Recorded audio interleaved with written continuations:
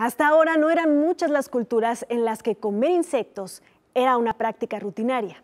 Pero últimamente los insectos comestibles se están volviendo cada vez más populares entre las diferentes sociedades.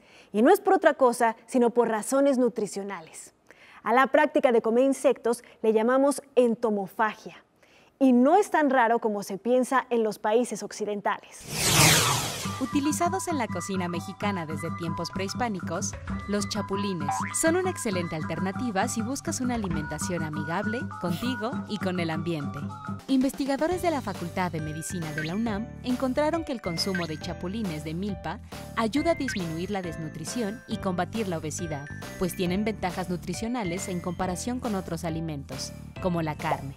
Entre sus principales ventajas, poseen el doble de proteína, tienen poca grasa y no contienen hormonas. Contienen vitaminas A, B y D, calcio, zinc y magnesio.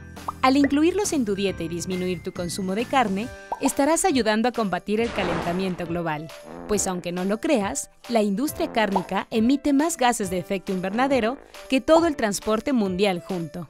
Come chapulines en un rico taco con guacamole o en una deliciosa tlayuda mientras colaboras con el ambiente.